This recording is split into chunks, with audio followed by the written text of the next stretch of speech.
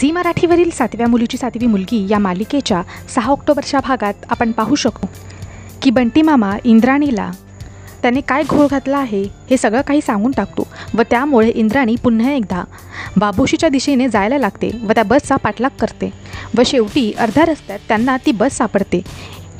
इकडे अद्वैत व नेत्राही बाबोशीच्या दिशेने जायला निघालेले असतात.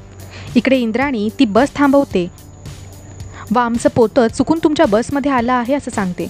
व त्यामुळे कंडक्टरही लगेचच बंटी मामाला त्यांचं पोतं देण्यासाठी मदत करतो.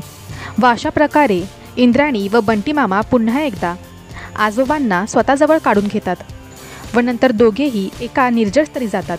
दुसरीकडे नेत्रालाही सतत कावळ्यांचा आवाज ऐकू येऊ लागतो. व त्यामुळे नेत्राला अचानक काय झालं हे अद्वैतलाही कळत नसतं.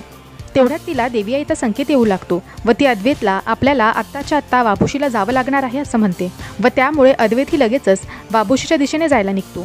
दुसरीकडे बंटी मामाने आजोबांना पुरण्याची तयारी केलेली असते पण इंद्राणी मध्येच त्यांना थांबवते व पुन्हा एकदा आजोबांना गाडीच्या डिक्कीमध्ये टाकून देवी आईच्या मंदिरामध्ये नेऊ लागते.